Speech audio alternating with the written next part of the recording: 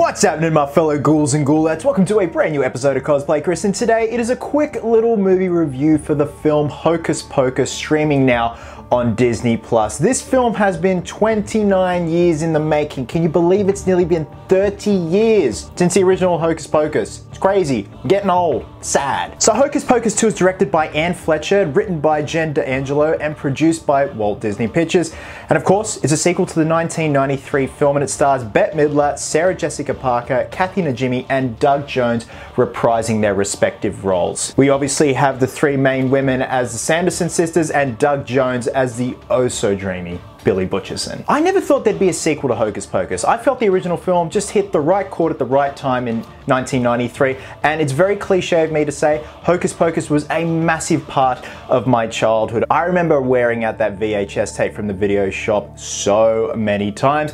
I still remember seeing Billy Butcherson for the first time and having the bejesus scared out of him because he essentially looks like a zombified version of Edward Scissorhands, right? And cut to 2022 and we have a sequel, 29 years later. Now is this film as good as the first one? No, but it's sufficient. It's fun, it does the job, it sets out what it wants to do. It just doesn't hit all those notes that the first one did. Now first things first, Bette Midler, Sarah Jessica Parker, and Kathy Najimy are great. They are still in fine form they're back in their respective roles and they kill it. The chemistry is still there, the comedy is still there, the slapstick comedy, very reminiscent of the Three Stooges, just like the first one, a lot of slapstick, and they absolutely crush it. And it was so good to see them back in their roles. I don't get the hate with Sarah Jessica Parker in terms of her looks. She's still got it, man.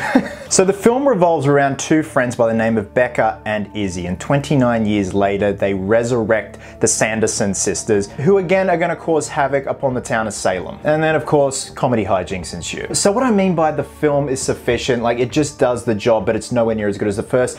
I feel if you were going to do a sequel to Hocus Pocus, it should have been done in say 1994 or 1995. A couple of years after the first one was released in 1993. I just think it was the time for quirky horror-esque movies, that macabre theme, much like the first Addams Family, Addams Family Values.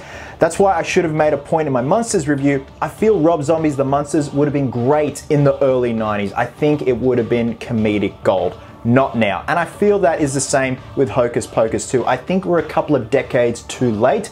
Nonetheless, it's still a fun movie. Like I said with the Munsters, it's not Hamlet. It's not gonna win any awards anytime soon, but I still had fun with it. Granted, I just think the setting of 2022 was just off. You know, they've got to throw in the selfie type thing. The way technology is now, they're forcing it down your throat, and like we get it, we're in we're in modern day time. You know, we're not in simpler times like 1993. Now, in the first Hocus Pocus, the Sanderson sisters were the antagonists. In Hocus Pocus 2, the film doesn't know if they're the antagonists or the protagonist. They switch back and forth. You're either rooting for them or you're not. And I think that's where the film ultimately gets very confused with the characterization of the three sisters. Like I said, nonetheless, the comedic timing with the three of them is brilliant. They haven't missed a beat, especially when it comes to the slapstick stuff, their interactions, they're bouncing the quips off one another. I would like to see how much of their dialogue was improvised, if they were allowed to improvise, because I feel like some of the stuff they were saying amongst the three of them was just so off the cuff, very in the moment, very funny. The standouts for me, Bette Midler and Doug Jones as Billy Butcherson. Billy Butcherson has a lot more screen time in this one. Loved him in the first one, even though his appearance is very brief. He gets a lot more screen time and he has a lot more to do with the plot this time around. And as Doug Jones, man, the guy just looks like he's having an absolute ball and is an absolute delight. The costumes and the production is fantastic. Like, it looks brilliant. Salem looks amazing. The Sanderson sisters costumes are brilliant. The makeup on Billy Butcherson looks amazing. Apparently, Tony Gardner, who who did the makeup for Doug Jones in the first Hocus Pocus, who is back for the second one, used the same molds, the same makeup appliances that he used on the first one. Because Doug Jones just never changes. He's just obviously gotten older, but he's like form wise, aesthetic wise, he hasn't changed a bit. So if it ain't broke, don't fix it. So overall, ghouls and ghoulettes, I know this is a very short review, but you know, there's not really much else to say. I just feel Hocus Pocus 2 was a couple of decades too late.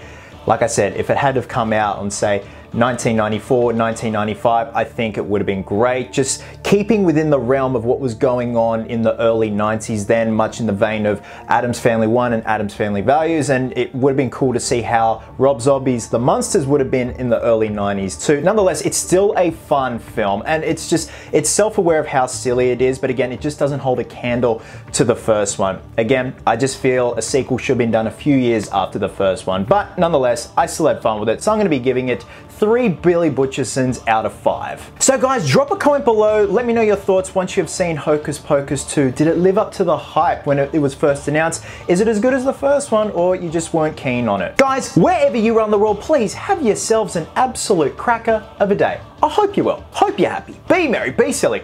And until next time, ghouls and ghoulettes, please always remember, cosplayers do it best.